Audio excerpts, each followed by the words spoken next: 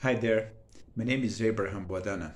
I am a pulmonary physician working at Shaare Zedek Medical Center in Jerusalem. Today, I'd like to present you the results of our study on early COPD case finding. COPD is a progressive disease caused mainly by cigarette smoking.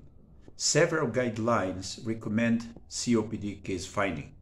However, there's no agreement on the best strategy to reach and screen the subjects. For instance, in primary care, case finding can be difficult because of limited clinician time or simply because spirometry is not available.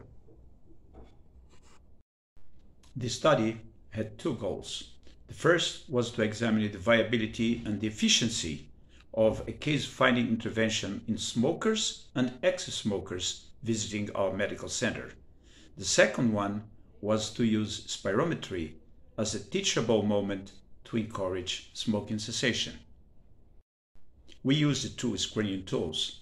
The first one was the GOLD-developed Could It Be COPD questionnaire, which scores from 0 to 5 points with 3 or more points indicating greater risk of COPD. The second one was simple spirometry, that is, spirometry without a BD test. Obstruction was defined by FEV1 FVC ratio of less than 70% and was considered undiagnosed if it was unknown to the subject we used the result of spirometry to dispense a short smoking, smoking cessation counseling session. The session was based on two topics. First one, how cigarette smoking causes COPD, and second, smoking cessation is the only treatment likely to prevent the onset and or the progression of the disease. Three months after the intervention, we evaluated the cessation outcome by phone survey. The study recruited 1,001 smokers and ex-smokers. The average age was 48 years and the cigarette consumption was 33 pack years.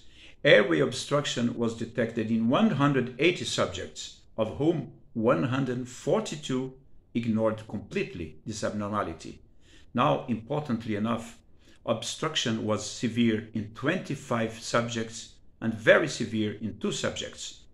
Three months after the intervention, we uh, were able to reach almost 900 subjects by phone, of whom 59 said they had stopped smoking.